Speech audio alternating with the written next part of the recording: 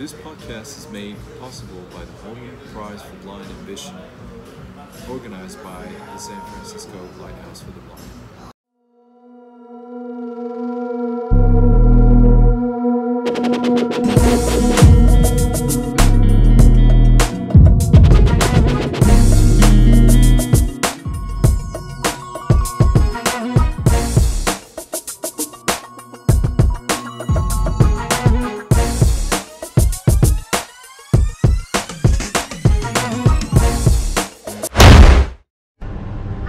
Today we're at the, the University of Queensland, Queensland. It's beautiful uh, heritage buildings that are strewn all across the campus in St. Lucia, sunny Brisbane in Australia.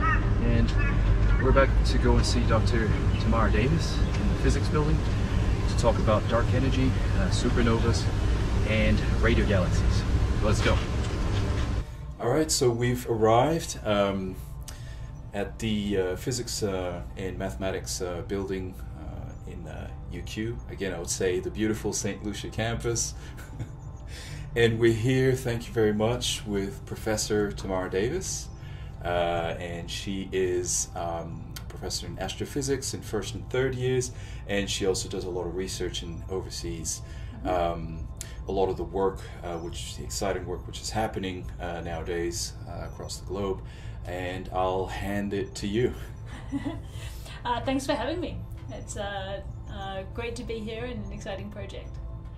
So, you want to know a bit about my research? Uh, yes, I would love to, to see you know what is uh, what is current for you right now. Uh, so, the exciting stuff with my research at the moment is I'm working on a couple of really big projects. Uh, two of them called the Dark Energy Survey and the Dark Energy Spectroscopic Instrument. So, DES and DESI are their acronyms.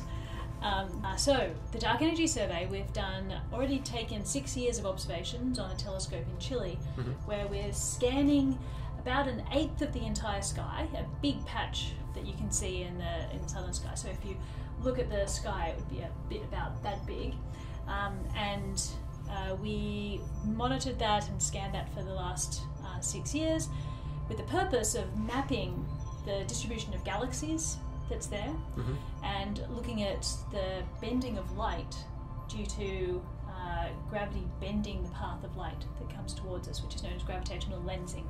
Yeah. And we've got uh, 300 million galaxies already in the catalogue, uh, and that's a huge number of galaxies with which we can map the cosmos. So we use the reason it's called the Dark Energy Survey is we're using these to measure what the universe is made of. Because the pattern of galaxies, as it turns out, is not entirely random. Yes. There's patterns in there, and we can use those patterns as a ruler to measure the expansion history of the universe and also measure how quickly things are growing, so how strong gravity is on different scales. Project. And the second project, DESI, is going to do a smaller number. It's going to do 30 million galaxies, which is still an enormous number of galaxies. Uh, and but it's going to do very precise distances as well as mapping sort of the two-dimensional distribution and getting approximate distances. DESI's going to map a really detailed map of 30 million galaxies uh, in the universe, which will give us uh, again. This is the most detailed map that anyone will ever have made, and it will give us a real definitive measurement of whether the expansion of the universe is speeding up more and more with time or slowing down, etc., um, so that we can understand what's causing that acceleration of the universe. Of the universe. So, ever since the we discovered that the universe is expanding, Yeah. um, we had assumed, humanity had assumed, that, that gravity would be slowing down that expansion. So Mhm. the galaxies are all moving away from each other. Yeah. Yeah. And you Um, assume that the galaxies or the the points are kind of pulling each other back. Yeah. So gravity should pull, right? Yeah. I get out of the chair. I just did a little experiment. That's the reason we can't fly. Yes, I get pulled back down to Earth. So if if you've thrown galaxies away from each other, it's like they've jumped away from each other. Whatever pushed them at the beginning of the universe Mhm. and just sent them on their way. They're just if they're just free floating and, and moving out, Yeah. gravity should be slowing down, slowing them down. And the question was always, will they slow down enough so that, that they um, get pulled back together? Yeah, yeah, yeah. Mm. Or will they have the escape velocity? Because even though I can't jump fast enough to escape the gravity of the Earth, if I was able to jump at 11 kilometers per second, that's the escape velocity. I would jump so high that I wouldn't ever come back. Mm. So what's escape velocity? So the escape velocity is the velocity you need to escape Earth's gravity, Okay. or the gravity of the gravity of a, a of a particular mass. body. Yeah, So of a particular body. Yeah, yeah. the moon doesn't have as much mass, so it's easier to escape from the moon. The sun's got a lot more mass. Yeah. Hmm. Um, yeah, so the, whether the galaxies will come, will ex- whether the universe will expand forever, so whether the ex- galaxies will continue to move away from each other, or Mhm. whether they'll move away, and stop, and recollapse, is determined by whether the uh, the both the initial velocity, the strength of gravity, um, and the distance Hmm. between them. Okay. So pretty, pretty much how fast they're moving and then Yeah. uh, how strong they are pulling each other. Yeah. Yeah, so that, that means that this um, this survey, the second survey, I guess, which is a bit more focused, uh, you know, which is the DESI, right? Yeah, it does. There's a couple of slightly different things Yeah. that it does. So to, to the thing that was really surprising that was discovered by um, in the late '90s was that, contrary to all expectation, that gravity should be slowing down the expansion. It looks like something is actually speeding up the expansion. Okay. So galaxies are accelerating away from each other, Mhm. and we're really not sure why. Hmm. So we don't know what's causing that acceleration, but whatever it is, we give it the name dark energy. And Mm. that's what we're trying to figure out with both of these different surveys. Can you just explain dark energy in a? I, I've. Uh, this is probably one of the first times that I'm hearing about it. Mhm. Um, you know, I've read I've read the word here and Yep. there, everywhere. I just have no idea what it is. Yeah, so you're in good company then. okay. If you don't know what Thank dark God. energy is, you're sitting out here with all of us in Yeah. that sense that dark energy is the name we give to whatever is accelerating the expansion of the universe. Mhm. But we have a couple of ideas of what that could possibly be Yeah. from theory, but we really don't know what it is yet, and Yeah. that's why we're doing all of these surveys so that we can try and figure it out.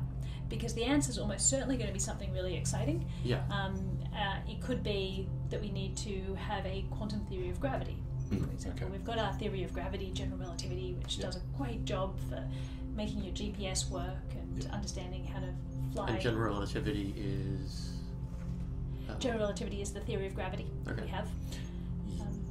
Um, I just you, you, it's like so. How, how do we? Uh, it's okay. It's okay. So so generally i guess like um, gravity has something to do with two different masses which interact with each other. And depending on the proportion you know between one mass and the other gravity actually will uh, have more of a force on the smaller object which will tend to start orbiting around the larger object depending on its velocity and its distance. And you know at some point it would form some kind of stability. But then when it comes to uh, galaxies um, i had a question about it is that do you know the source of expansion Um, so galaxies work with the same principles as the um, as the orbits of the um, of the planets in our solar system. Our sun orbits the galaxy, so there's lots of stars that orbit the um, in the galaxy, the Mhm. whole gravitational field of the galaxy, including the massive black hole at the center. Yep. Um, and uh, but then you asked about what the what caused the expansion The of the universe. of the universe. So if you're asking the big questions that we don't know the answers to yet, how did it actually begin? Like, Hmm. What was there a real beginning? Was there a continuation of something that was there before? Mhm. Are there other universes being born all the time? Um, these are questions that we have theories ab- about, that we or we have ideas about, Mhm. but we don't have a concrete answer. Okay. Uh, and just like we don't know exactly what happens at the center of a black hole, and one of the reasons we don't have concrete answer is because we need both a theory of um, the, the theory of general relativity, which is our theory of gravity, Yep. and the theory of quantum physics. When we get some to something that scale, you're talking about something really small and really, really dense. And we Yep. know that Mhm. both theories would be important in that situation, but we also know that those theories don't play nice together. they don't yeah they don't agree on, on different um, observations Yeah, so you um, quantum physics does a fantastic job of predicting particles and uh, all, doing all the measurements of all, all of the particle uh, interactions that we can see. Yeah. But we it doesn't have the flexibility of time, for example, that Mm. general relativity has. Hmm. General relativity works. Um, we explain how gravity works by looking at curved space, uh, and you also get things like time dilation in general relativity, where time flows differently depending on your state of acceleration, Acceleration. or motion, state of um, motion. If you're moving fast, Mhm. so time runs differently depending on your state of motion. If you're moving fast, uh, pass something, you're, the person that you're passing and you will disagree on the rate that your watches tick. Tick, yeah. I remember. I remember when I was young. I used to. We used to. I used to play uh, soccer with my brother in the thing, and that was when I first noticed that uh, sound was different. Mhm. there's, I a saw time, some- there's a yeah. of sound. Yeah. So you see someone like bang a bang a soccer ball on the ground or something, or kick it, and then like a couple seconds later you hear the, Yeah. the sound. yeah. Um, But speaking here we get back to the big problem that I was I, we, that you initially asked me about. yeah, because we're like, how did the universe begin? What's at the center of a black hole? Where we might probably, we almost certainly need these two theories, quantum and general relativity, to work together. Mm. The general relativity has curved space and time is flexible depending on your who's counting. Yeah. Um, but in quantum physics, there's no such flexibility. In quantum physics, our equations at the moment don't give us the ability to have warping time or have uh, a warped space. Hmm. And so the attempt to get quantum physics and general relativity to work together is in part, or the reason that they don't work together is in part because there's not that flexibility. Mhm. And so it, we think that if we can understand a quantum theory of gravity, we might be able to understand something like how did the universe begin? And the question of what happens at the center of black holes. And the reason dark energy is so interesting is that it might also be a feature of quantum gravity. Mhm. okay, The leading candidate for what dark energy might be is actually the energy of the vacuum itself. mm-hmm. This is a Yep. something that comes out of um, quantum physics. Is that even if you take everything out, there's no matter, there's no light, there's nothing. You've just got vacuum. Mhm. You can't. You don't get to zero energy. there is still some form of energy Yeah, which a- exists, which At zero zero energy, and it's um, related to Heisenberg's uncertainty principle. Yep, Where you yeah, can't know the, yeah. the momentum and the position of something of perfectly. something perfectly, yeah. Um, and interestingly, the vacuum energy that's predicted there has the right properties to accelerate the universe. Mm. So you're like, wow, we're done. We've just figured out something where quantum physics and, and general relativity really are needed to work together. But the predictions for how much of that stuff in quantum physics or how much vacuum energy there is are way off. Um, up to Okay. 120 orders of magnitude, or um, it's a slightly hand waving estimate, but they're really, really bad. And so maybe quantum gravity will explain why the vacuum energy takes the value it does and explain what dark energy energy is. That's one of my hopes. Okay. That's um, really that's some really complex questions that need answering. um, there was I wanted to kind of bring it back Yes. to you know the some of the initial um, you know to the source of why we're trying to really kind of measure these phenomenon. Um, there is you know you spoke about uh, black holes and you know which are in uh, they are called supermassive black holes hmm At the centers of galaxies. at the centers Yep. of galaxies. Um, those are also called active galactic nuclei. Yeah, so the one, the supermassive black holes, which we think are at the center of uh, every large galaxy, are um, sort of the, the every galaxy is built around one of these.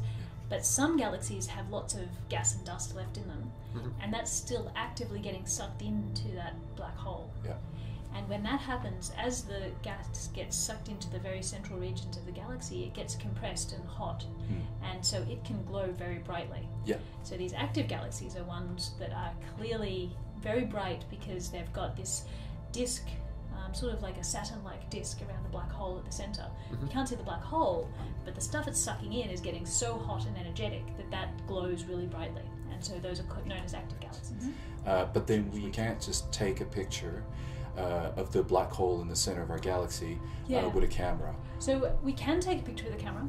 Okay. The problem is that because it is just it's just normal light coming off. Some of it will come off in X-rays, some of it will come off in the infrared, some of it will come off in visible And light. this is the gas getting sucked into them. Um, yeah, Okay. Yeah. Okay. but um, so it's just normal light. The problem is these things are so far away and so compact Mm. that they look tiny. So even with the Hubble Space Telescope, Mm. if you, which is the, one of our highest resolution cameras that's up in space, it's, you don't get the blurring of the atmosphere and that kind of Mm. thing. The whole um, black hole with the disk of gas around it is way smaller than a pixel on that camera. So you can actually see uh, the um, active galaxy light on a normal camera. It's just that the resolution has to be super, super high, way higher than possible. Even with our, our best space telescopes, Yeah. uh, the entirety of the black hole, the disk around it, all the gas fills up like one pixel in the Mhm. middle of your image. So to understand what's going on in the structure, we can't use a normal photograph Yeah. because all of the information that we want is in this one little dot. Mhm. It gives us some info, Yeah. Mhm. but we need more.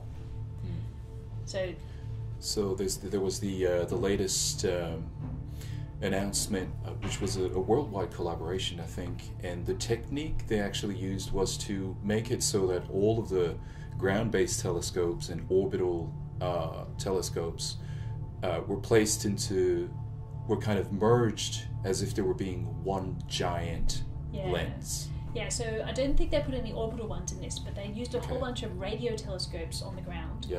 um, and made pretended that it was sort of like one big dish. So when you're using a telescope to observe the sky, Yeah.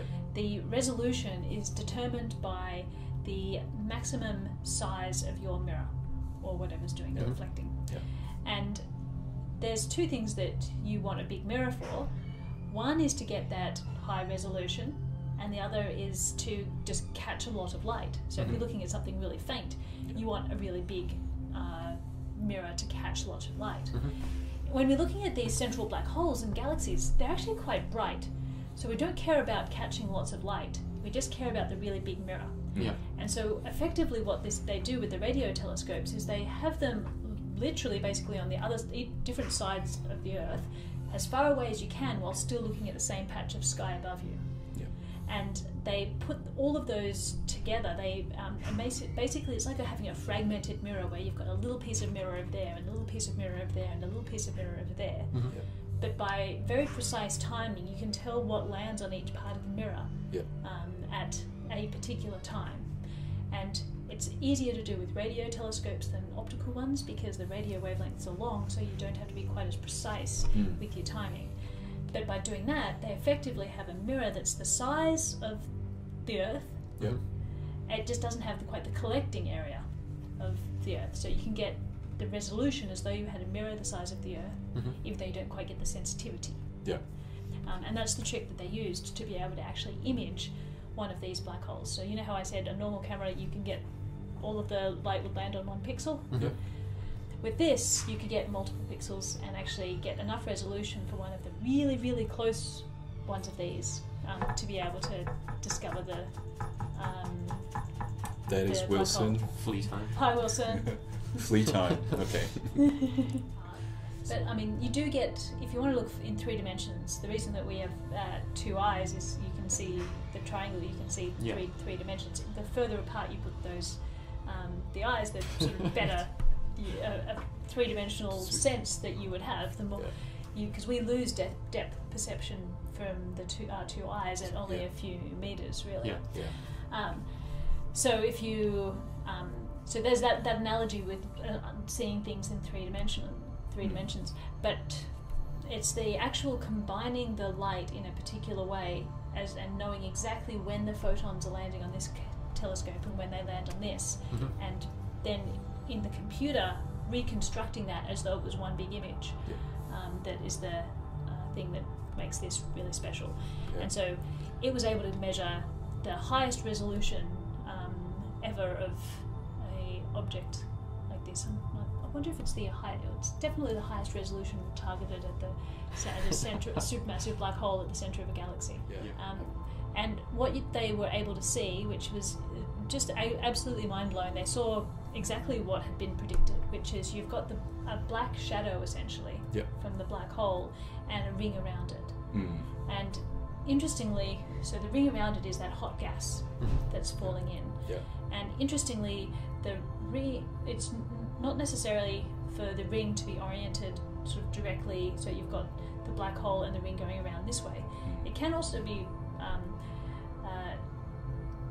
aligned perpendicular to us, so that the it would we would be looking edge onto the rings, and because of the gravity of the black hole, the light would get bent as it was emitted up and down Mhm. from the back side of the ring. It gets bent around and would come towards you, Yeah. and so it, no matter what the orientation, the black hole would look like it had a ring around it. Okay. So so yeah. So why? What is is the shadow? At the middle of the uh, the black hole due to Yeah, so that? Yeah. yeah, if we're looking at something that's a, a disk of material around the black hole, Yeah. then it's not a sphere. It's not encompassing the whole thing. It's not falling in from all directions. It's, as I said, sort of imagine the disks, the rings of Saturn. Yeah. If you're looking at the rings of Saturn edge on, you can almost not see that they're there because they're so thin. Um, and the, these disk patterns appear all over the galaxy and all, all over the universe in a variety of different places. You Yeah. see the rings of Saturn um, forming. You see our, our solar system is in a big disk around our sun. Yeah. You see these the disks of all of the stars Yeah. around the central black hole of the galaxy, and really close to that black hole, you've got these accretion disks, these hot disks of gas that are really close. Yeah. And that happens because of angular momentum. When things are, if anything's spinning as they compress, uh, as, a, as the cloud of stuff gets smaller, Yeah. it will tend to form a disk. And that's a common thing that happens at all sorts of different scales in the universe, from the planets to the galaxies, and galaxies. it happens around these supermassive black holes. So that means that we could also see a supermassive black hole which may not have a disk which is facing us directly. Yes, but which could also be oblique or you know that that yeah as Yeah. you said that looks a bit like the ring on saturn. Yeah, okay. Because Saturn doesn't have enough gravity to be able to pull the light and make it make us be able to see the disks that are hidden behind the planet. But a black hole has enough gravity that even if the the disk is completely behind the black hole relative to us, Mhm. the light would get pulled up and then um, bent around the black hole and would look like it's coming to us from above the black hole and below the black hole, even though it should it's actually um, hidden. And there's a the movie Interstellar yeah was one that they used real simulations of black holes and disks around them to make the animation that was used in that movie. And so that's really genuinely what it would look like, and where you've got sort of a bit of a stripe of colour in front where the disk is, and then Yeah. a ring around. just like uh, you know jake was talking about the sound which is a bit of delay when you actually hit it from a, from a different area on the field and if Yeah. you more distance you get you know the, the, the more delay you actually have in uh, hearing that sound so in the same respect the light is also doing the same thing Yeah, the key thing with the Doppler effect that you were just describing is not the time it takes for the light to reach you, but rather just simply the fact that you're moving with respect to each other. Yeah. So you can imagine if I'm running towards you and I'm You got Uh, a spear in one hand. I've got, I've got a. I was thinking I had a, a like a, a flashlight or something, and Yeah. I flash my my um, flashlight and it, um, uh, or a laser pointer or whatever we want, and I, Yeah. and I flash it once per second. Yeah. Then as I'm running towards you, those uh, you'll receive those flashes f- more frequently than More one per second, and in that case, it's because of the light travel time. Yeah. Um, but there's the Doppler shift that we're talking about in special relativity and stuff is just the the relative motion of uh, the two objects Yep. means that you get this um, the change of frequency Mhm. um, relative to something else, and it's one of the easiest ways to measure that whether something's moving or not. Yep. We use that for galaxies. Yeah. Uh, it was discovered in the 1920s that if you measure the spectra of galaxies, so the rainbow of light that the galaxies emit, we use the sharp spectral lines, so really bright emission at particular wavelengths that come from different elements, Yep. to, as a fingerprint. And we can see that fingerprint that is sometimes moved to the red and sometimes moved to the blue. If it's Mhm. moved to the blue, that's because something's moving towards you. If it's moved to the red, it's because something's moving away. Right. And basically, all of the galaxies are moved towards the red, and so they're all moving away. That's how you understand that it's And that's how we that's how it was initially discovered that the universe is expanding because Yeah. the velocity is proportional to the distance. Yeah. The ones that are further away are moving faster, which is consistent with if you if everything started quite the whole observable universe started quite close together in, in the Big Bang or Mhm. shortly thereafter, the things that were moving faster would have gotten further by now. Uh, I have a question in regards to that. Yep. So apparently, the Andromeda galaxy Mm-hmm. is entering into a collision course Yeah. with our Milky Way. Yeah, Uh, that's why I put the almost yeah. the almost every galaxy is moving away from us. Yeah, that's that's that's very interesting. So that means um, what you're doing is you're able to use the Doppler shift. So as it turns red, or you get a certain measure of that Doppler shift uh, Mhm. to understand you know how fast they're actually uh, moving away from each other. Um, now, this kind of brings into one of the topics that you're working on, which is uh, reverberation mapping. Yep. Uh, could you explain to us what that, you know, how you know how that works? I do know on a very surface level. The, the important thing for reverberation is that it's being emitted from different regions, and that's the key thing. So, Mm. what's happening? Um, oh, and by the way, the Doppler shift and, and the measuring of uh, how fast galaxies are moving away are really important for the supernova measurement that discovered the acceleration of the universe, which was in the 90s, which I was talking about before. But we can get back to that. For reverberation mapping, what we actually look at is you've got this hot disk of gas that's around the central supermassive black hole. Yeah.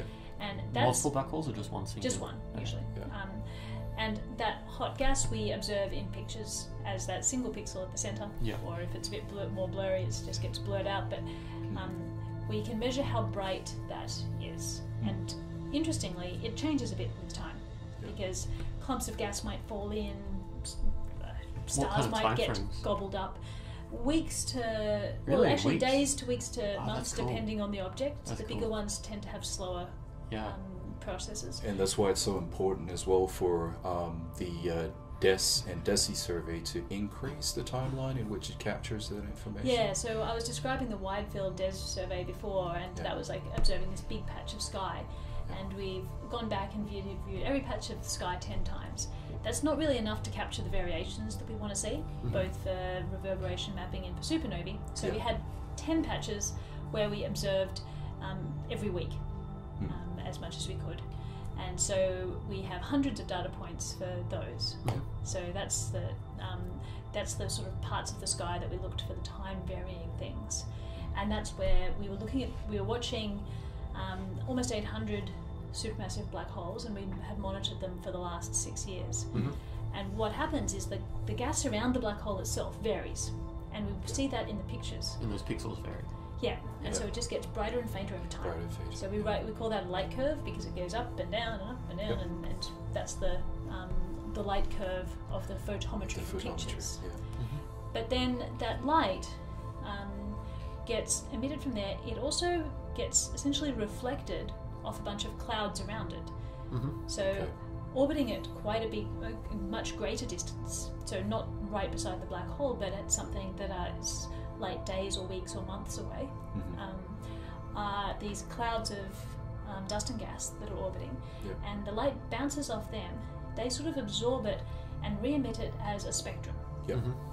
And uh, so we it, it re-emit it in spectral lines, basically. And so you see these sharp emission lines if you take both the images that we're taking with the dark energy camera, but then also go back and take spectra. Mhm. You can watch the strength of these emission lines changing as well. Okay.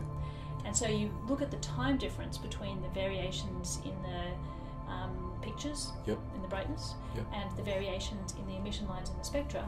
And that time difference tells you the distance between the center and where these clouds are. So it's just as if you were in a room, or let's say a big hall, with different objects between you and the wall and the ceiling, and you have one sound which is coming out of an area, Yep. but then in, that sound bounces, and that kind of causes the delay, which is reverberation. Yeah. But you're actually using it in the context of uh, the photometry and the Yeah. light. So- Um, yeah. Exactly. So it's like the uh, um, the echo reverberation that you would get for, that bats use to find their way in the dark. And And we're doing that over millions of light years. yeah, so it's not Yeah. sound bouncing off something; it's actually light. Light. because these things are so vast that it takes light weeks to get across, Yeah. and then it bounces off this cloud of gas and comes to us and we see it. Yeah. And the really cool thing that we can do with this is because the the gas is moving quite quickly Yeah. because it's orbiting this black hole, and we can measure how quickly that gas is moving. And once we know the distance from the black hole, if you know how fast something is orbiting at a particular distance, the thing that you can figure out is the mass of the thing that it's orbiting. Mhm. So we can we're using this to weigh supermassive black holes Mm. to calculate their mass, and we're looking at the most distant ones that we're looking at emitted the light we're seeing about 12 billion years ago. So the universe is 13.8 billion years old.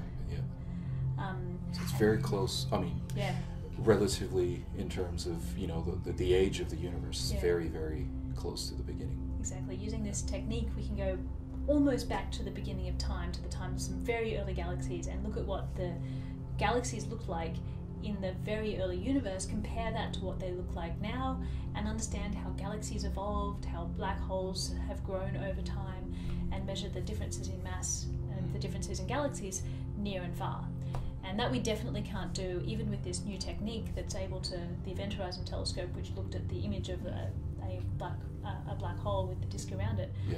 That was the one of the most nearby galaxies with the biggest supermassive black hole, one one of the biggest supermassive black holes in it. Okay. And so, even the very very nearby ones are really really hard to image. Yeah. But thanks to this time delay technique, we can get a picture of what the inside of these galaxies look like near their supermassive black holes Mm. by using time delays. So uh, instead of using uh, an actual picture. Okay. All right. Uh, we're back after uh, the camera's heat stroke. Um, so one of the questions I had was uh, about a quasi-stellar object. What is it? Yes. What is it? what? Yeah. So that's a, also known as a quasar, quasi-stellar object. Quasar got it got shortened to. When these active galaxies were first discovered, people didn't really know what they are, and because they were so they're so bright, they're as bright as a nearby star, mm-hmm. and they they're, but they're also tiny, so they just look like a point of light. So people thought they were stars because you didn't have any extra information. Yeah. But when you looked at the spectrum of it, it just had lines that were all in all sorts of crazy places. Like you couldn't, people couldn't identify what elements it was made out of, um, and Using the same techniques as the pixel camera. Yeah. Okay. uh, well, using the spreading out the rainbow of colors of, Mhm. of the light and looking at the, the emission lines, Yeah. it wasn't a fingerprint that people recognized until they realized that that fingerprint had been redshifted so far that they were looking at a whole bunch of emission lines that people hadn't even really thought of yet. And these things were, were not stars at all. They were really far away galaxies that just happened to be very bright and very pinpointy in the sky. And so that was the that's what a quasi-stellar object is. Quasi-stellar Um, and it, after there, there used to be all of these different types of objects. Um, there's uh, quasars and blazars and active galactic nuclei of different types and Seyfert galaxies and things. and people slowly realized um, that what we were looking at wasn't a whole bunch of different types of objects. It was the same type of object looked at from different orientations. From different orientations. Okay. And Yeah. yeah, so some of them, so these things basically imagine you've got a donut with a skewer through the center, central hole, Mhm. and there's a black hole right at the center. The skewer's like these jets of gas that are being um, poured out. And That's the thing the- that gets lit up. Um, yeah, so that's really bright. Yeah. And then you have the, the a dusty torus around it, which is like the donut, which is um, not as energetic as the jets coming out, Yeah. and that's sort of all embedded in the galaxy. Mm. And so when you put this all together, if you're looking at that edge on, you can't actually see the set down into this bit that we've been talking about. We can't see the disk around the black hole because it's obscured by that dusty sort of donut. Whereas if you're looking directly down one of the beams, you see something very different because you're getting shot at by a bunch of like really high energy ra- radiation. Hmm. And if you're looking at it obliquely on sort of a diagonal angle, you can sort of see into the center, you get some of the torus, you get some of this. And so the light, the spectrum that we were getting looked quite different from all of these objects until it was all put together into one big picture and we realized that you're look, actually looking at the same type of object just from very different directions. And so the the that technique, which uh, I think it was uh, started in the 1800s, which was to put it, put the light coming through uh, into a prism to Um, yeah, spread, to, to get the spectrum. yeah, to make this to get the spectrum. Yeah, I don't know when they were when Spectra were first, but as, as long as we've had prisms, I guess, uh, or like glass. Don't quote me on this, Yeah. but I think it was a Dutch guy in the 1800s. Uh-huh.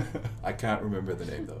Yeah. Uh, but yeah, so this technique is also used in many other objects, right? Um, Mhm. You know, star systems. Yeah, we, uh, it's our main way of understanding the universe is to split the light up into its colors and look at different things. Because Yeah. if something's hot, it tends to be blue. If something's cooler it tends to glow in the red. To glow in the red, yeah. Um, just like your flame, you know that your blue flame for Yeah. your gas Mm. stove is hotter than the, the red flame that you get out from a match or something right. like that. And so, with those techniques, um, and also with the um, reverberation mapping, you're able to uh, calculate the actual mass of a black hole. Um, Uh, yeah, so we're talk- the things that we're looking at are typically millions or billions of times the mass of our sun. wow. And that is in a much, much smaller uh, area. Yeah, the, bil- the ones that are billions of times the mass of our sun can be bigger than our sun. So the, the Okay. event usually we talk about the size of a black hole as being the size of the event event horizon. horizon. So that's the point of no return. If you get closer than that, you're not escaping again. Yeah. So the event horizon can be can actually be quite big for one of these ones that's billions of times the mass of our sun, Mhm. like to, on the scale of the orbit of the Earth from the sun, for example, that kind of size, uh, and um, or even our solar system. But if you turned our Earth into a black hole, if you com- took all of the Earth to make it a black hole, you just have to make it really dense. You'd have to take the whole Earth and compress it into something about the size of a teaspoon. Wow. Um, there have been some papers out there which were talking about going through the black hole and somehow, uh, apparently, there's some articles out there which are starting to theorize on an object which is kind of the opposite side of the black hole, which they call white holes. Um, have you heard something about that? Yeah, so it maths is tricky. It's very entertaining sometimes. Mathematics. uh, you can um, use it if you if you've got quantum physics and things. You you can look at the maths that describes the particles you see and do things amazing like predict the well. If this maths is true and explain and is a good explanation of what we've seen, then this other thing must be true. And the and the other thing is we must have a Higgs boson. We must have a neutrino. Like Mhm. different. Mhm. It actually predicted the existence of particles Hmm. that we'd never seen, and we went out and measured them, and that was true. And maths is um, amazing if that what um, that you're able to predict the real world so effectively Mhm. by looking at the mathematics. Now, just because it's mathematically uh, possible doesn't mean it actually comes to fruition. There have been lots of mathematically possible uh, things that have shown to be not true. So they're, they're dead ends, basically. Yeah, a um, Yeah, well, the vast majority of um, ideas that you can possibly come up with are going to be wrong. Um, so, but for in, you were talking, I, I brought up this because the, the white holes are a mathematical possibility within the theory of um, of uh, relativity. Relativity, And yeah. You can have wormholes as well, so Mhm. that's theoretically possible. Yeah. Where you have, um, if you imagine space time as like a sheet Mhm. it's basically sort of like ripping a hole in the sheet and making a connection from one point to another. So it's like a tunnel. Yeah. And so you can. It's one way that people have considered moving uh, faster than the speed of light or going uh, traveling in time is to take a shortcut through using the features of curvature of space to rip apart a hole in this one and attach it somewhere else and go go just basically cheating, finding a tunnel. Mm. Uh, But that, that violates too many. it's mathematically viable. It does work mathematically. Mm. Uh, but you any- need the, the problem is you need negative energy to hold the mouth of the wormhole open for you to be able to traverse this worst wormhole. And we don't necessarily know that negative energy is a thing that possibly exists. It's like having negative mass. You can't be less than zero kilos. Mhm. Yeah. You can speculate. I can put a negative sign in the equation and say, "Hey, let's see what happens when we put negative mass in there." Yeah. It doesn't mean that that's actually possible. The average density of the universe is Mhm. um, decreasing as everything gets away from, from everything else, and so From we get more yeah. more empty places beside the big dense things. So the eventual future of our galaxy is to be sitting alone with our, our few sort of galaxies like Andromeda that we've already sort of captured gravitationally, Yeah. and then all of the other galaxies will be will end up zooming away and to the point that we cannot even see them anymore. So we'll Mm. just end up with this little patch of the universe that we can see. Um, for those who are terrified, it's not going to happen very soon. So, We have uh, hundreds of billions of years. Don't worry, it's all Vote, good. vote Team Milky Way. Yeah. yeah. So this is this is actually, you know, a, a really fascinating thing. But what is the actual origin of a black hole? Uh, you know, we spoke about supernova, uh, but not as much in length as uh, with black holes. Yep.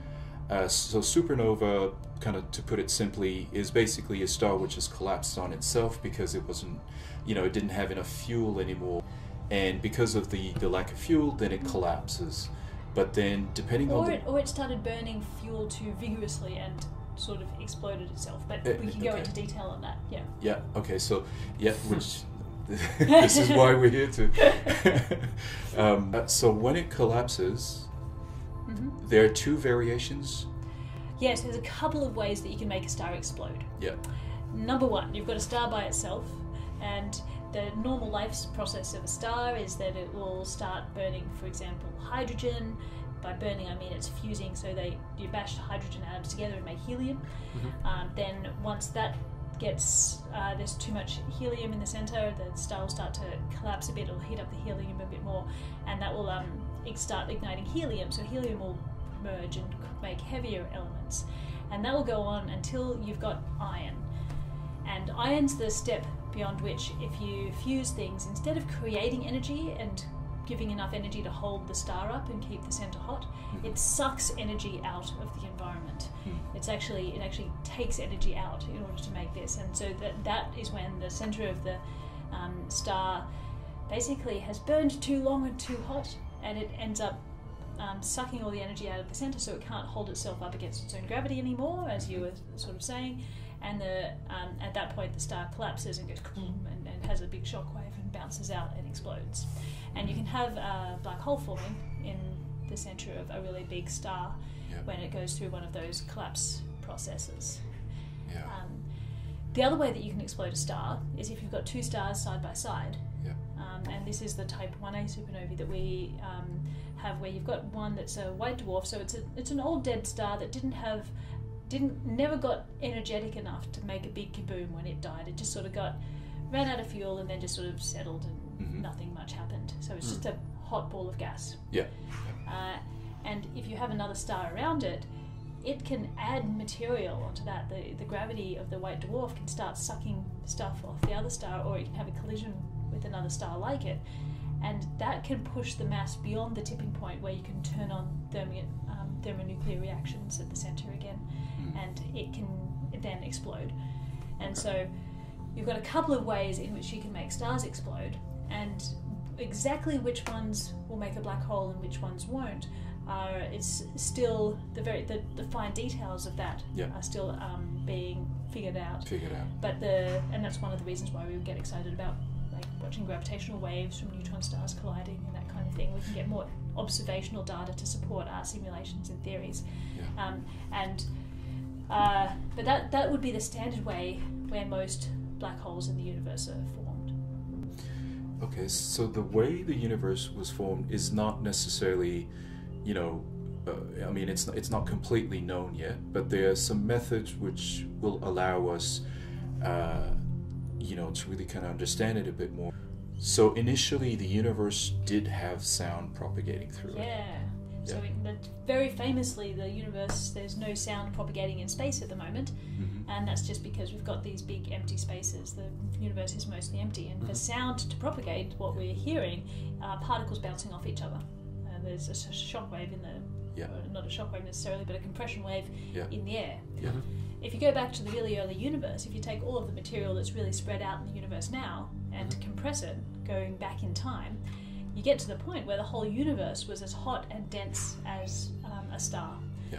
So living back then would have been like living inside a star, but a star that stretched as far as you could go in all directions. Yeah. And so back then, sound was traveling everywhere, and Yeah. light particles were participating in the sound wave too. So the sound wave is actually going at more than half the speed of light.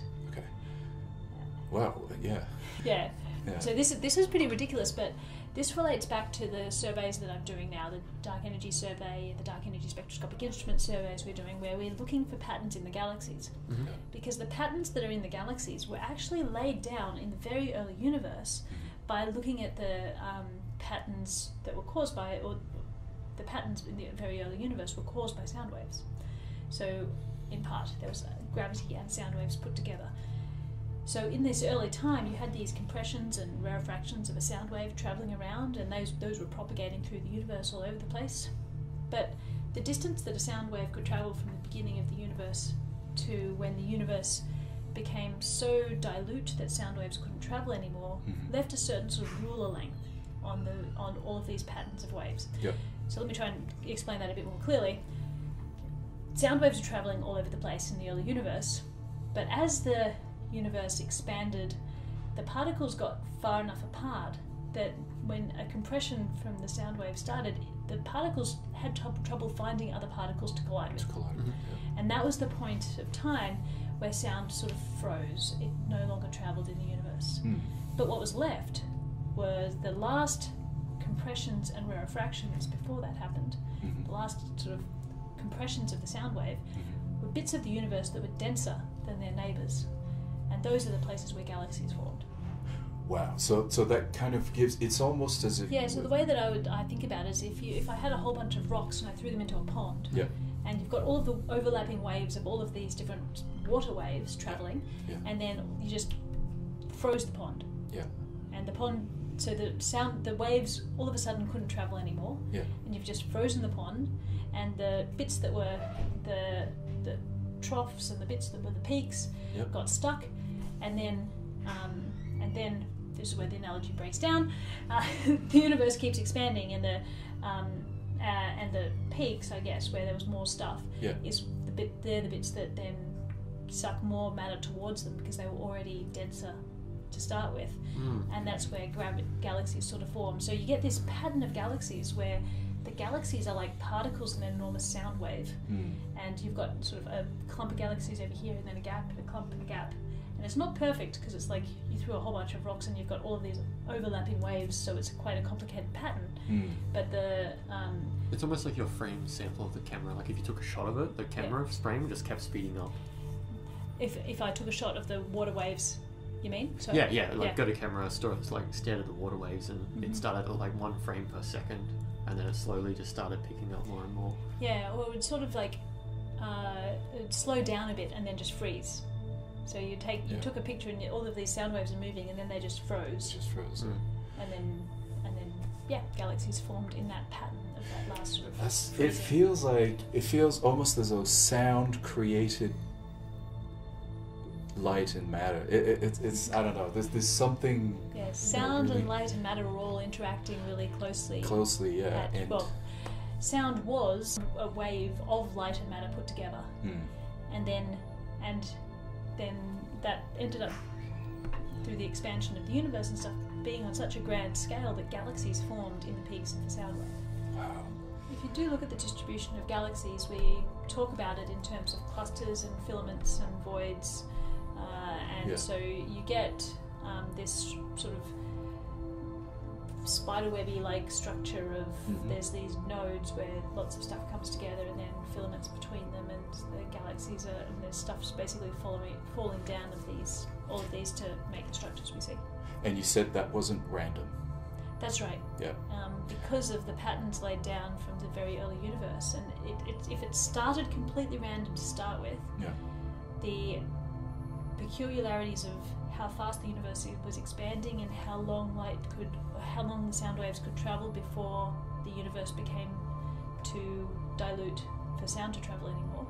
That particular distance laid down a particular ruler that now basically lies like a mesh over the entire universe, which we can use as like grid paper to measure how much the expansion has changed over time. So we look for this ruler length because even though it got the sound waves froze, hmm the universe is still expanding. So those the, the ruler is still sort of stretching, not because sound waves are moving, but just because everything is moving away from everything else. Have you seen any good uh, visual representations to kind of pair with that? Um, lots of great numerical simulations that we can that we look at Mhm. Yeah. because we do basically to check that our interpretation is correct. We put in great detail the initial conditions that we can see from the early universe, which we can see in the form of the microwave background, which is light that Mhm. was emitted from that very early time, Yeah. and compare that. And then we put that initial condition in a simulation, see what happens if you just allow gravity to do its work for 13.8 billion years, Yeah. Mm. and then you see what the pattern of galaxies looks like today, Mm. and you can compare out and go out and observe and see if that looks like what the, the pattern of galaxies that we see, and also look at all of the different distances as well, um, sort of halfway back in the universe, and you know a few billion years back, and does the pattern of galaxies at each stage match what our simulations predict? Mm. And it does a beautiful job of doing that, which is one of the reasons we're so confident in our whole model. Oh, that's, uh, so, guys, we're going to now switch to. Um, this seemed very technical, although you know the convers- we try to keep the conversation as light as possible. But astrophysics is a complex thing, but at the same time, it's it's an extremely inspiring uh, field, and you know that digs all the way down to you know fundamental physics, you know from the micro or the nano or even even smaller than the nano, all the way to the macro.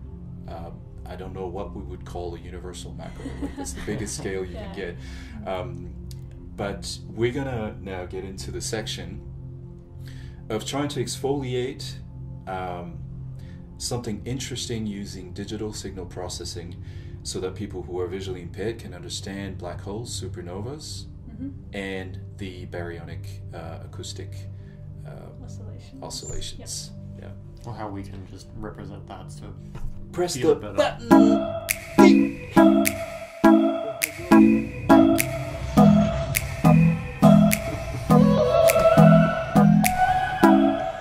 Okay, now let's put into the science part. Can we take a quick quick break? Yes. The image back on. Yeah. Oh,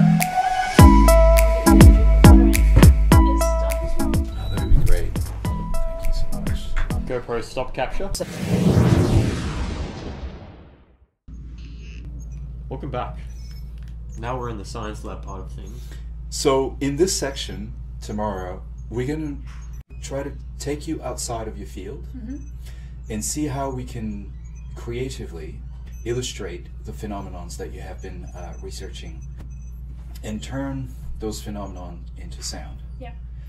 So let's start with some of the, the, the, the main data points.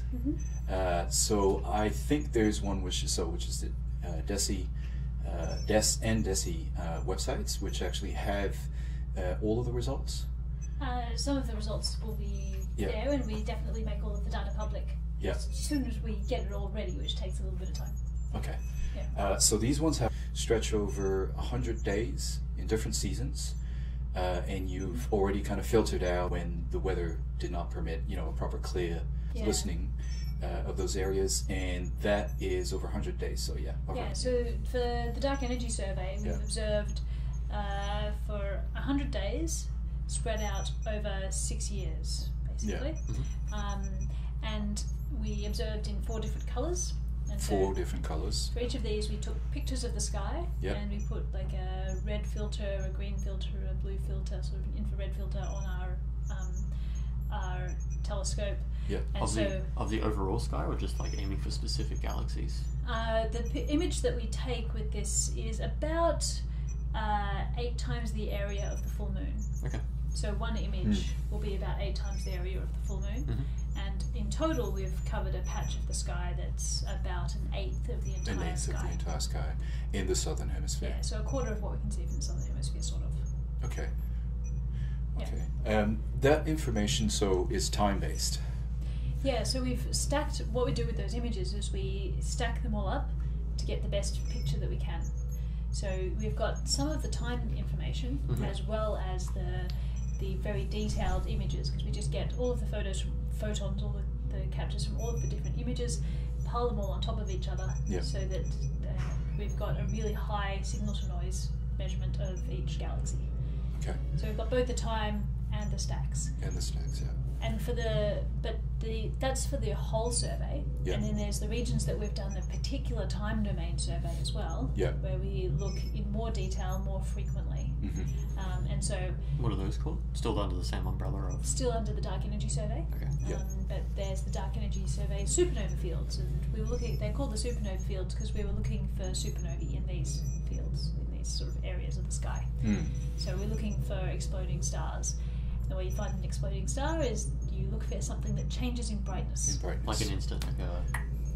Well, not necessarily. Yeah, It- I, it would- I, I it guess would I'm be- imagining they phase in and phase out, but I don't They, they do different. they the supernova the ones that we're looking for um, will typically brighten and fade over the course of a month or two. A month or two.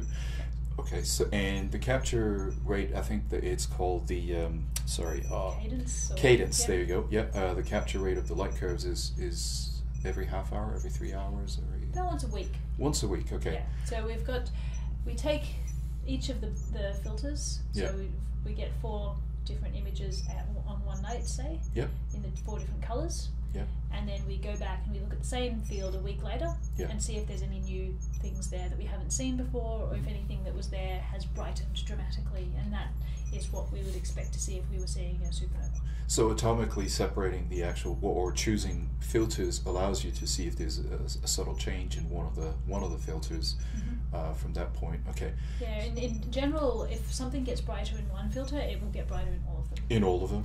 Yeah, Okay. and, um, the different amounts to, because sometimes, um, and uh, it will get more bright in the bl- like when something's really hot, it will Hot, get blue. So when you have a supernova explosion, it actually starts very hot, Yep. and so the blue filters will go up first, the highest, Yeah. and then as time goes on, the red Yeah. will get higher. So higher.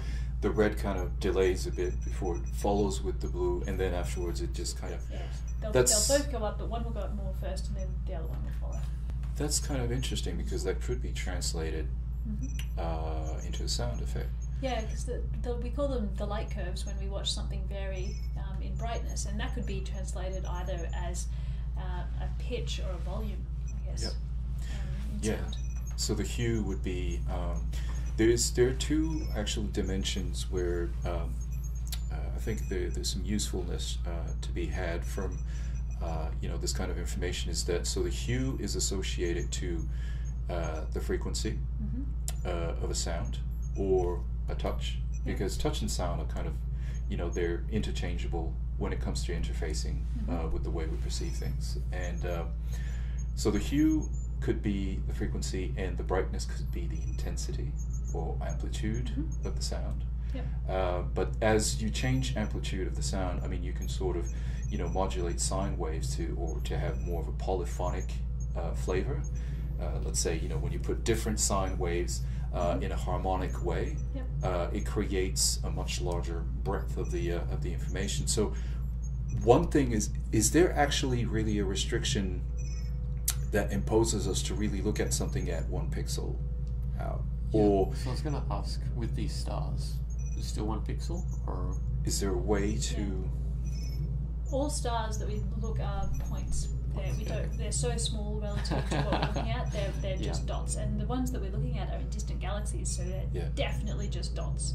yeah There's no, you don't see anything at all. Um, like, because even if you look at something like Jupiter, yeah um, our closest planet, if you look with your your eyes, it looks like a dot, right? With Yeah. a telescope, you can see a bit of a disk. Yeah. But that's one of the nearest, biggest things that we have. Yeah. And stars far away are, are they're all just dots. they're all just dots and is there anything else that affects besides uh, the the stars? Uh, forgive me for language, but the stars changing their spectral filters. Yep. Is there anything else that affects those colors? Let's say a bl- uh, dark haze, or uh, you know, if a black Yeah. hole was relatively close to us, maybe it goes in front of a couple stars, but we don't see it, but it still affects it slightly. Um, Um, yeah, so uh, dust gets in the way, for example. Okay. and they So you can see that pattern of dust. Yeah, so we've got a. Um, people have made a map of our galaxy Yeah. and mapped out the dust lanes and where there's a really strong absorption and where there is less absorption. Um, yeah. dust lanes Yep.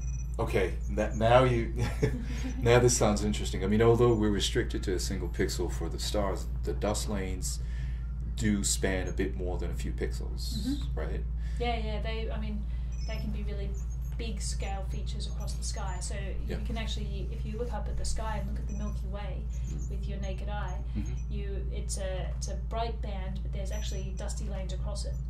And interesting stories from the um, the Aboriginal people from Th- that's right and yeah They th- thought that the they instead of making constellations out of the bright patches that they could see, Yeah. they made constellations out of the dark patches. out of the dark patches. Yeah. Yeah, that's that's the really interesting kind of unique, uh, you know, way of looking at it. Yeah. Um, here in the southern hemisphere, we get a special view of the Milky Way because the Earth is actually oriented with the southern hemisphere pointed towards more towards the center of our galaxy. Yep. So if you think of like a, a dinner plate, um, Mhm. the Earth is pointed to be able to see most of the dinner plate from the southern hemisphere and Mhm. just the outer, just the edge from the northern hemisphere. So in the southern hemisphere, we might have a much more dramatic um, Milky Way. We can see more of our galaxy, Mm. but that obscures the galaxies behind it. So that dust is Yeah. really strong along the disk of the Milky Way, Yeah. and then gets less as you go up to the sort of the north pole and south pole of our galaxy. Yeah. Yeah. Would you say it's a bit more? It's a bit as if, um, say, you take a, a cup of coffee, a cappuccino, Mhm. and you sprinkle a bit of, um, you know, some chocolate on top Mhm. or the, to turn the liquid underneath around, Mhm. and that it, and it just you know spirals, and then you have these highways of dark patches and Mm-hmm. highways of uh, star masses and clusters. Yeah. Yeah, so we're, and then when we're looking at our own galaxy, we're looking at that edge on, so we're trying to look through all of those All of things, those, yeah. all of the multiple spiral arms and the stuff that's in the center of the galaxy and things, so that that's all sort of in a disk obscuring our view. Mm. Um, but then the, the dust changes. All around us there's dust, hmm and there's different patches of the universe or our local environment that are more or less dusty. Have you have you seen the dust over time with those photos? Uh, the dust is very subtle. Very subtle, Um, yeah. So, do you want me to draw a picture of what a spectrum looks like of a Yeah, yeah. Um, yeah, yeah, or something? Because the the spectrum is what you get is you get a, sort of how bright it is with um. Well, this is just sort of a random spectrum, but what I'm drawing is basically how uh, bright something is. I'll say the the flux that you get of the light Yeah. and representing that as a line which is high when there's lots of flux and low when there's less. Mm. Yeah. I didn't actually, I didn't really draw a particularly good Yeah. supernova here, but it's, uh, you can see there's there's some absorption and sort of a whole different shape of the light curve. yeah. So you find Mm. meaning out of Oh, those sorry, trends. this isn't a light curve. This is a spectrum because this is as a function of wavelength. Yeah. So the bit on the right is red, um, and the bit on the left is blue. And if you start off with something that's particularly blue, it if you have dust, it absorbs blue light um, more effectively than red light. Okay. So it reddens things, which is also what it absorbs and scatters it, which is also why the sky is blue Yeah. Yeah. and why the sun looks red because the red light is able to travel through more unimpeded, whereas the blue light gets scattered. Mm. And so Okay. the blue light And that's dust. Is this that's pure dust well, or just it- any? It's dust or particles, and Okay. you've got the air particles, you've got Yeah. water scattering. I thought it was things. mostly water that was doing that kind of. The, yeah, the- water water gets makes um, uh, clouds and is very annoying for astronomers. Um, but if you had if you have some dust, it will tend to make this uh, a bit fainter than it should be in the blue, and then it won't, won't affect the red very much. So it will, Yeah. Yeah. you can tell how much dust there is by the colour that Okay. you see. Okay, so that somehow we could sort of do a uh, a hue conversion. Uh, The thing is, uh, I'm not sure that dust is very. So if you could go and get these dust maps Mhm. from the from the um, that people have made with Yeah. our supernovae, where you can't until you've applied the dust map. It's difficult to tell. We're not directly measuring that very One of the- Well, there's dust in the host galaxy and stuff, but One of the things they do in robotics to measure any change is just new picture minus old picture, and that Yeah. gives you a really good edge definition of shape. yeah. Or moving Well, shapes, I I think say. there's there is a there's a specific equation in when it comes to uh, reverberation mapping Mhm. is to figure out the right uh, R minus L. We can figure the yeah the radius luminosity relationship is that one. Yeah. So the, the things that I think would be most useful for to turn into sound is the light curve of the um, supernova because you can hear it getting brighter and fainter, and as you say, you can turn the the hue into the Yeah. um, the frequency of sound, and yeah. you can turn the amplitude into the amplitude of the sound. Yeah. Um, and so that would be easy to do, and also you could then do the same thing for the reverberation mapping for the AGN, the, the, the active galaxies with the black holes at the center. Yeah.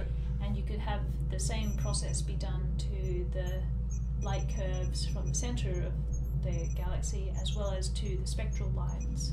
Because we spectral process the spectral lines and Yeah. measure them getting brighter and fainter. Yeah. But we what we want to know about that time delay. Yeah.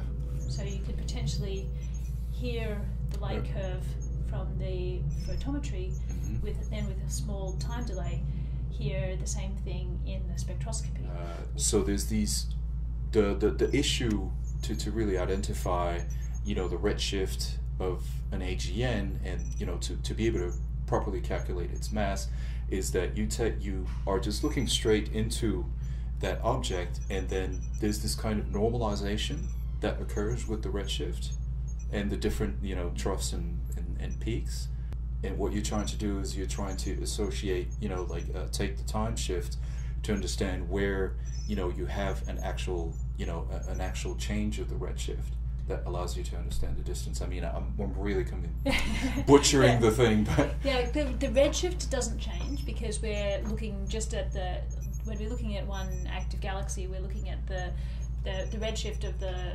photometry and the redshift of the the spectroscopy is the same. yeah Uh, so we're just looking for the time delay, yeah and the we've got a light curve that is basically goes up and down from the photometry, Yeah. and we've got a light curve that goes up and down from the spectroscopy. okay And the spectroscopy is what we're measuring is how bright the emission lines are Yeah. and how that changes with time. Yeah. Whereas the photometry we're measuring how bright the How bright images are in the different filters and how that changes with time.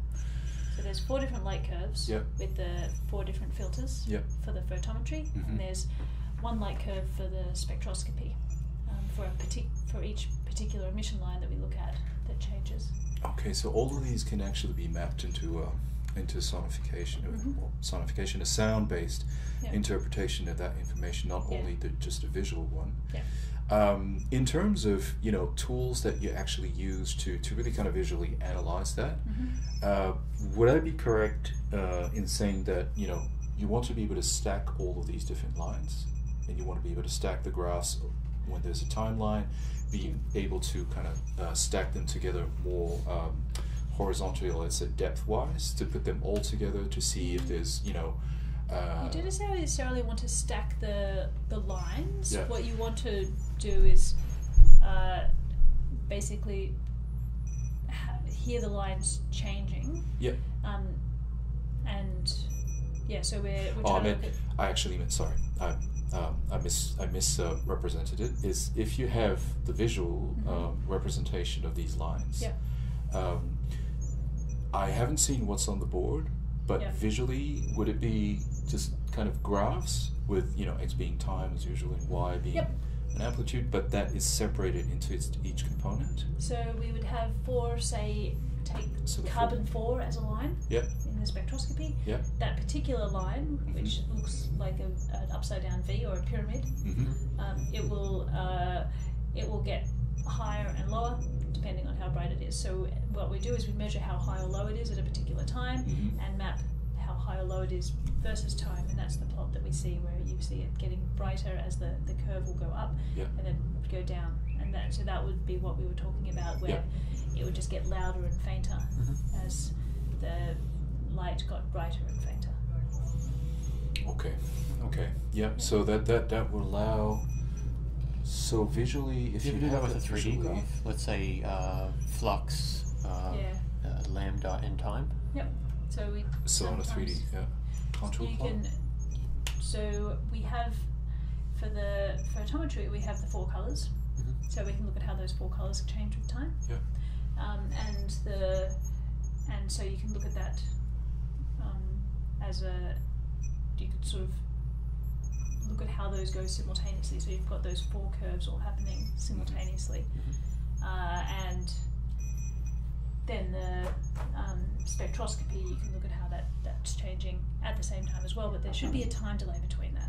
So, So that would yeah that would allow actually a proper uh, representation using sound because although sound um, you know when it comes to computers and you know, a lot of people say 3D space, Mm. uh, but it's not really 3D space. It's actually stereo um, stereo panning, and there is a problem which has not been solved yet. I'd love to have the time to solve it, but uh, it's called uh, it's there's a lack of vertical audio uh, when it's uh, digitally uh, outputted. So in the analog sense of things, that we can you know really hear things above and below, although our ear tends not to be as uh, accurate in representing you know those sounds, uh, the sound locations.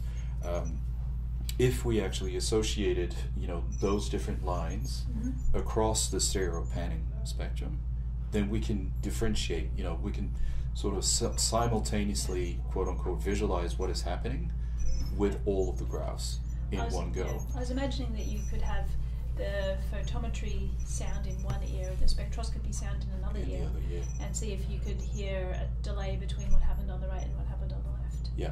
The spectroscopy doesn't have quite as much detailed information as the photometry, Yeah. so you would be trying to hear something sparse in your left ear to something detailed in your right ear. Okay. But um, that would be interesting to see if you could actually tell.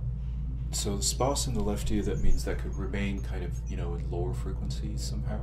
Well, it would so that all of it we, we don't because we don't like observe 24 hours a day and have like continuous input. Yeah. All that we have is a data point one week, a data point the next week, Yeah. point the next week, and we can put draw lines between it or make a smooth curve between it to Interpolate them interpolate what's happening in the middle. But that will always be approximate. Yeah. But we can still make that smooth. hmm Um, and for the photometry, it's not too bad because we've got um, reasonably frequent. Yeah. If the things that are varying as slow as slowly as the things that we're watching, measuring once a week isn't too bad. Okay. Yeah. Um, but the the spectroscopy, we've only got once a month. Yeah. So every four um, Yeah. Photometry points, basically, there's one spectroscopy spectrum. point. So it'll like go beep, beep, beep, beep, and then they'll get beep, one spectroscopy. And so over how long though? Uh, for the- about six months at a time or five months, at a time. Months. And then there's a gap of seven months, and then we have another um, year. Uh, August to January. I remember that's the Yeah. period within which it's. Uh, Yeah, and some of the time delays we're looking at are over a year long. Mm, okay. So a lot of the time delays that we're looking at are we're actually trying to link um, one year's photometry with the next year's spectroscopy Yeah. because the time it takes for the light to travel from the center, from the black hole out, bounce off the clouds, Mhm. is um, can be A very long time. multiple of- months. Yeah. and then the redshifting as the light comes towards us as well actually puts a time dilation in it, which adds extra time. Mhm. Long story short, you sometimes can be listening for delays that are a year or more, Mhm. um, which obviously we would want to speed up somewhat Yeah. the sound. Yeah, you wouldn't hear. it's it's the same thing with the uh, currently uh, we've got about four hundred thousand stars which have been captured, uh, modified, uh, you know, frequency. Uh, modulated, filtered out into you know uh, each of its frequency modes, and then put back in. Um, and there's actually what's interesting is that they, you can identify what a like an O star would be, you know, versus an M star. Um, but okay, so pretty much, you know, taking note of this is that just pitting uh, the spectroscopy, which is uh, one over, you know, one over four, um, versus uh, no, not the spectrum, the light curves, which is one over four, and the spectroscopy, which is one time. Yep. Yeah, so that's the ratio that we can take, and then we can sort of make interpolations between. Uh, and we can just kind of further granularize things with the uh, RGB and I mean the four filters. Um, And the other thing that would, I mean, this is for the active galaxies, but we could also do it for the supernovae. So you could do discovery of supernovae because there's a lot of things that change in our images. Yeah. So if you just take the same patch of sky yeah, and um, make some sort of audio about each of the dots Yeah. somehow, Yeah, you yeah. could potentially hear one getting brighter. mm, Um, and the kind of things that go through our images include asteroids that are in our solar system, Yep. um, and variable stars, Yep. and supernovae, and these active galaxies that vary, and all of these varying things are in the image. Yep. So if you put six years of data together with weekly imaging, then Mhm. a gap for the season, and weekly imaging, then a gap. yeah, Uh, there's actually a lot of there's a wealth of information in there that would Absolutely. be interesting to hear what uh, it sounded like. yeah, absolutely. And then find what the causes are for those Mm-hmm. dis- disturbances. hmm Exactly. Yeah, it's almost like a you know just being able to listen out there, you know, and just to go, well, I'm going to pinpoint over here, Yep. and I'll just keep listening to it. And I'll just put it almost like a background sound or something, you know, to, to, to see Yeah. what's happening over there. But this information, I I guess there's a lot of information which is processed. Would you recommend that we go and see the team at uh, in Western Australia? The, I think it's the Australian part of the square kilometre, The, yeah, the MWA. Oh, sorry, yeah, Yep. MWA, yeah. Um, yeah, that's a that's a different survey altogether, Mhm. but they're they've got um, lot heaps of really interesting information on their survey, so that's a good place to go. Do you think uh, they might have targeted some of the same objects as the uh, as, the dark energy survey? For sure. Yes. Um, Okay. So there could be. Uh, we're tar- targeting the same patches of sky. We have quite different resolutions and obviously different wavelengths that Yep. we're using, but Yep. they'll there's overlap. Okay. Okay. All right. We have a trick question. Yes. I'm worried, of course. oh, it's very, it's very. Uh, how should we say? It's it's it's very gentle. Yes. what do you think of astrology? There's astrology. Astrology usually is giving pretty good advice to people. It has Mm. nothing to do with the stars and relationships to human bodies, but it's It's interesting. if if people are being told you should watch your money this week, or you know, Yeah. be nice to your your neighbor this week, it's good advice. And Yeah. but interestingly, um, uh, the you can see where astrology came from Hmm. because it comes from something that actually does make sense. Yeah. Because ancient peoples could see that depending on what stars were in the sky, Yeah. your season was different, Yeah. so the environment was different, and you could see that sometimes birds were being born, sometimes was the good time to plant your crops, and so what stars were overhead definitely affected what goes on on life on Earth, Yeah. and that's because of the orientation of the Earth and when it orbits the Sun, depending whether you're in your your your side of the Earth is tilted towards the Sun or not, Yeah. you get different um, climate weather. Hmm. Uh, and so the idea that where the stars are in the sky should affect life on Earth comes from a sound basis, which we now scientifically understand very well. Yeah.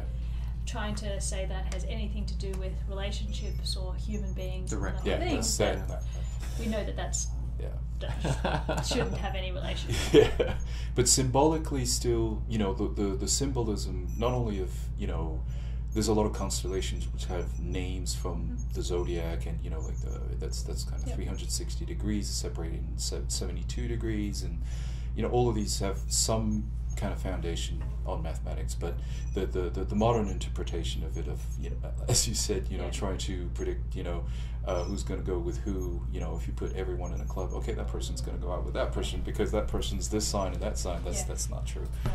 Uh, yeah, But people, uh, you can see if you go out into the middle of the outback in Australia that you can see why people worship stars or and spend Mm. so much time and were so much more familiar with the constellations and could use them for navigation and all of these kind of things. Yeah. Because it's when you're outside city lights, it's so bright and beautiful and um, it contains heaps of information. yes, Uh, and Yeah. so, of course, people would use those. And the ancients were much more familiar with that than modern humans are. Did It would be great to put it back. Uh, I mean, if we know that even dung beetles actually orient themselves, apparently relatively uh, relative The to the Way. direction of the Milky Way. Don't know about that, but maybe. yeah. Um, have you ever had a contact moment? You know the scene in Contact where With she's yeah. Jodie listening? Foster? Yes. yeah. I've never been contacted by aliens, unfortunately, but I have had exciting times at telescopes and Yeah. really exciting aha moments at telescopes. Could you tell us one of those moments? I remember the first time that I was looking at an active galaxy, which we've been talking about, and uh, we weren't intending to. We were meant to be looking for supernovae, so we were trying to find exploding stars. Yeah. But sometimes, because we're looking at dots, it's difficult to tell the difference at first Mm. between an exploding star and the centre of an active galaxy that's changing in brightness. Mhm. And so we targeted this active galaxy, and I was very new at this. So this is like my first time observing at the telescope for this type of thing. And I, the spectrum popped up because you check the data as it comes in, and I was like, "What is that?" Hmm. And I had the same sort of process that went through the minds of the people who first discovered these and didn't know what they were. I'm like, I have, I have no idea. I can't match up any of the lines for this. And I asked my mate, I was like, um, "Hey, what's what am I looking at?" He's like, "Oh, that's a quasar. Check like Reggie 4." So I, I had a look and I checked and I lined it up and I found out what it was. and realized that what we just collected in our telescope was light that had been traveling across the universe for about 12 and a half billion years. And I had one of those moments where I just I just pushed back from the desk because like, whoa. and that just goes to show one how empty the universe is. Yeah. That this has been tra- this light has been traveling for 12 and a half billion years, and the first thing it hit in all of that time Is us. was the mirror of our telescope. Mm-hmm. yeah. And also the fact that how much we can now understand as humans that we I can look at that and I can understand and know that that came from a the light of from this disk of gas around a supermassive black hole in this distant galaxy, mm-hmm. and I can understand that I can understand and look at something that happened and literally watch something that happened before the Earth formed, because the Earth is only four and a half billion years old. So yeah, yeah. this has been traveling for well over double the age of the Earth, age of the almost Earth. three times the uh, age of the Earth. Yeah, to see something that to know to actually know that. I mean, it feels. I mean, personally, the first time I had this this moment that really haunted me for the rest of the night is when I first saw the ring on Saturn. Hmm. And you know, my dad, you know, opened the Yeah, the book and said, "Look, this is Saturn right here." Well, look at over there. You know that Yeah. little yellowish kind of spot which is up there. Okay, have a look. Boom, looked at the telescope. Okay, yeah. I'm small. Such a distance. yeah, it's it's yeah, it's um no, it's it's 12, 12 billion light years away. So it took twelve billion years for the light to get to us. to get to us. Yeah. Uh, but what if it was actually close enough? Because this between the expansion of that light and the position we were originally Mhm. relative to that light.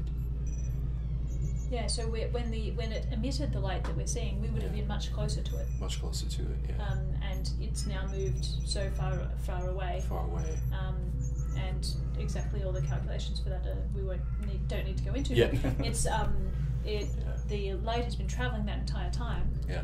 and, and it's now even further away, and Mm. what we're seeing is no longer there Yeah. because that galaxy has been evolving for another 12 and a half billion years since the light was emitted. So we're looking at something as it was in the past. It's like literally doing active archaeology by flying back to the past and seeing what it looks like. Um, Yeah. And so we're blessed in astronomy that we can really look, we can watch the infant universe and see how it evolves. Mm. And you'd wonder what's happening there today. Mhm. Uh, tw- you know, past 12 billion years. Yeah. The answer Um, untrue question. Uh, well, we know you like frisbees, yes. but there was also you also had a not really a contact moment, but maybe a moment you know that led you perhaps uh, to take this to take this route. Mm.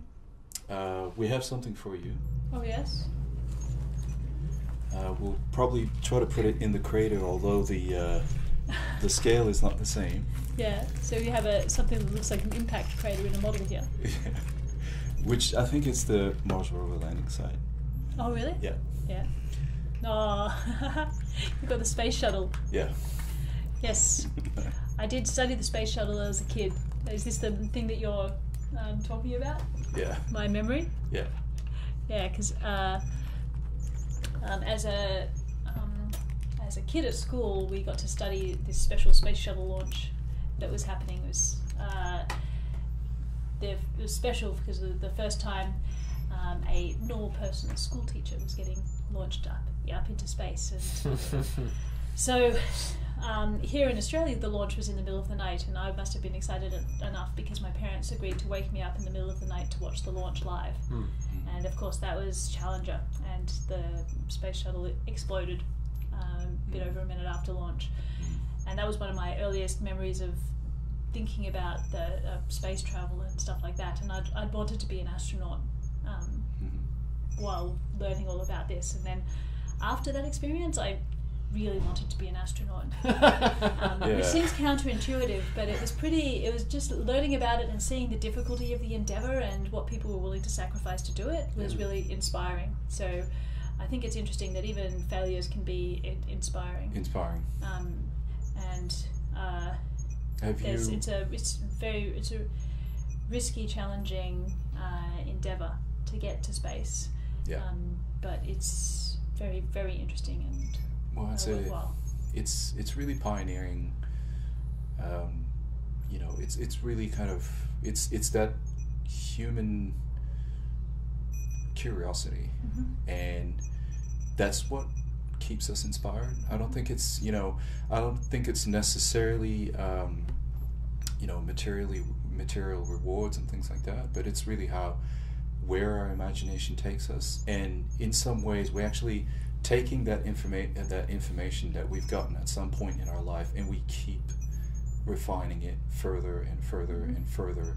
You know until we at least are able to just take that curtain and just move it aside and understand the universe a bit more uh, it seems like that's our you know that's the way um, a lot of you know investigative minds uh, kind of you know Yeah. or yeah just just take that direction and to kind of uh, you know keep themselves happy and joyful and just super motivated and passionate about what Mhm. they're doing so There's a Yeah. there's a lot to be learned by pushing ourselves to do things that are really difficult that we don't know how to do yet. yeah Mm. We learn so much on the way yeah that regardless of or not of whether we achieve the final aim that we were that we were pointed towards, Yeah.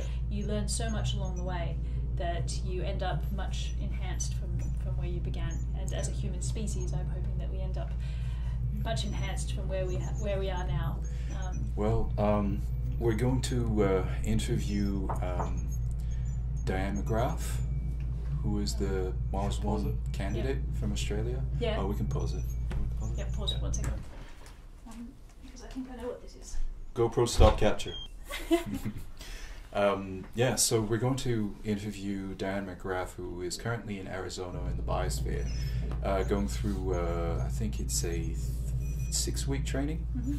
Uh, she is her responsibility is to actually understanding the recycling process. Mhm. Uh, you know, for the team of twenty four who are maybe, perhaps, hopefully, uh, going to join Mars in Mhm. uh, two thousand thirty two.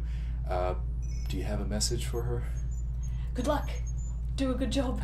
I'm excited to see the results. Yeah. All right. Well, Safe from there, travels. uh, thank you so much, Tamara, for this conversation. It was really inspiring. Good luck with uh, the rest of your adventure. Thank you. Yeah. And, uh, well, this is our first podcast. Uh, we have a zero podcast, but this, this is our first podca- podcast. If you guys are interested, please go on Astrohunters uh, for what? Facebook groups, and then what else? Astrohunters, uh, like and subscribe if this is on YouTube. okay. All right, GoPro stop capture.